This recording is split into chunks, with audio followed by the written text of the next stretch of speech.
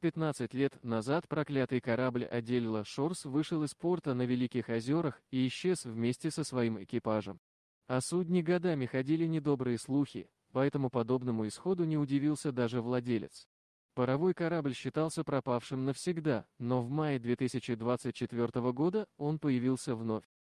Адель Шорс представляла собой коммерческое судно на паровом ходу. Его построили в 1894 году в Гибралтаре, штат Мичиган. Корабль водоизмещением 735 тонн предназначался только для работы на Великих озерах и с самого начала моряки знали, что он проклят. Все потому, что владелец разрешил спустить корабль на воду с нарушением обычая с разбитием бутылки вина о нос. Его сестра, женщина строгая, окрестила судно бутылкой воды. В следующие 15 лет Аделия Шорс четырежды садилась на мель. Найти моряков для корабля становилось все сложнее, а 1 мая 1909 года судно исчезло без следа. В то время озеро покрывал толстый лед, бушевал ветер, вероятно, деревянный корпус Адела Шорс был поврежден.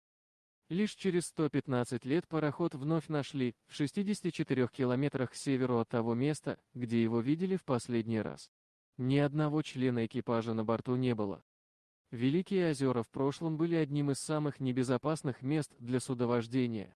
На дне здесь нашли свой последний порт около 10 тысяч кораблей.